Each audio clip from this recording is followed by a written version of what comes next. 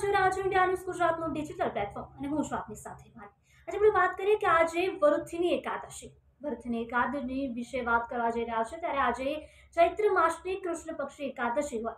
જે શ્રી કૃષ્ણએ આ એકાદશી પદ્મ પુરાણમાં વરુથીની એકાદશી તરીકે વર્ણવેલી છે.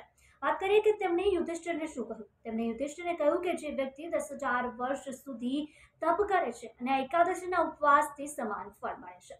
દસ હજાર વર્ષનું તમે તપ કરો કે પછી આ એકાદશી કરો, બંનેનું ફળ તમને સમાન મળી રહેશે.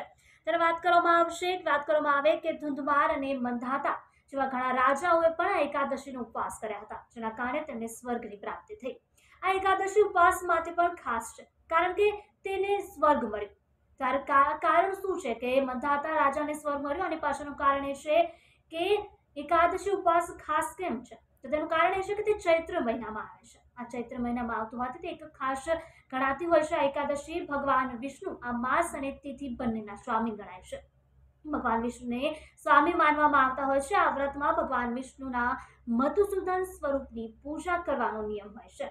તો જેના દ્વારા આ તમામ પ્રકારના ભગવાનનું પૂજા કરવાનો નિયમ હોય છે, જેના દ્વારા તમામ પ્રકારના પાપનો પણ અંત આવે છે. ત્યારે વાત કરીએ કે એકાદશી વ્રતનું મહત્વ શું છે? આપણે આ વ્રતની મહત્વની વિશે જો આજે વાત કરીએ, તો ચૈત્ર માસના કૃષ્ણ પક્ષની જો વાત કરવામાં આવે કે કૃષ્ણ પક્ષની એકાદશીના દિવસે ભગવાન વિષ્ણુ માટે ઉપવાસ કરવામાં આવતો હોય છે. તેનાથી કઠોર તપસ્યાનું પરિણામ મળતું હોય છે અને પૂરેવા પર વધારો થતો હોય છે.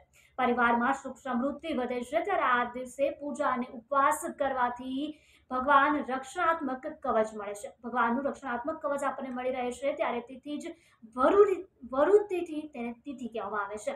આ તિથિ તેને કયા કારણોથી આ તિથિ કહેવામાં આવે કારણ કે તે ભગવાન રક્ષણાત્મક આપણને કવચ આપતે છે તેને વરુથિની કહેવામાં આવતી હોય છે, વરુથિની એકાદશી. ત્યારે વાત કહેવામાં આવશે કે આ એક એવું વ્રત છે કે જે સૌભાગ્ય આપે છે. બધા પાપોનો નાશ કરે છે અને રક્ષણ આપે છે. ત્યારે વાત કરવામાં આવે છે કે આ દિવસે ભગવાન વિષ્ણુની પૂજા કરવા પછી વ્યક્તિએ પોતાની શ્રદ્ધા અનુસાર અન્ન અને જળનું દાન કરવું જોઈએ. એવું માનવામાં પણ આવી રહ્યું છે. શું માનવામાં આવે છે. એવું માનવામાં આવે છે કે આ દિવસે દાન કરવાથી મોક્ષની પ્રાપ્તિ થાય છે અને બધા પાપો નાશ પામે છે. ત્યારે એક પૌરાણિક કથા અનુસાર વાત કરવામાં આવે, પૌરાણિક માન્યતા અનુસાર રાજા મંધાતાએ આ દિવસે ભગવાન વિષ્ણુની પૂજા કરી હતી અને વરુથીની એકાદશીના પ્રભાવે તેમને મોક્ષ મળ્યો હતો. તેમને સ્વર્ગની પ્રાપ્તિ થઈ હતી.